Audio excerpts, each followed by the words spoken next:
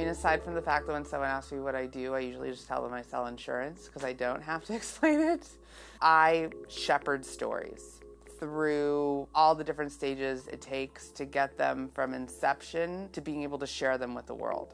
And I protect the story and I service the story. And by doing that, I try to make the best product possible for people to see, but really also trying to make a product that I really love and that speaks to me. The best way to say it is that I'm a caretaker.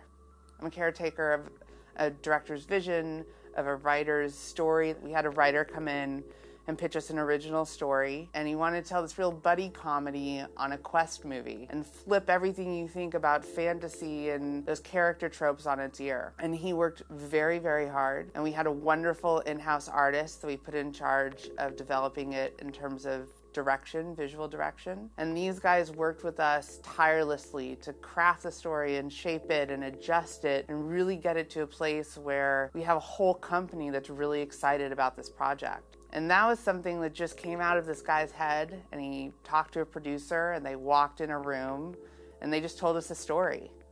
And to be able to see that go from where it was to now we're looking at it to be a movie in the very near future has really been a great process. Um, hi, I'm Jenny Marchick. I work at Sony Pictures Animation.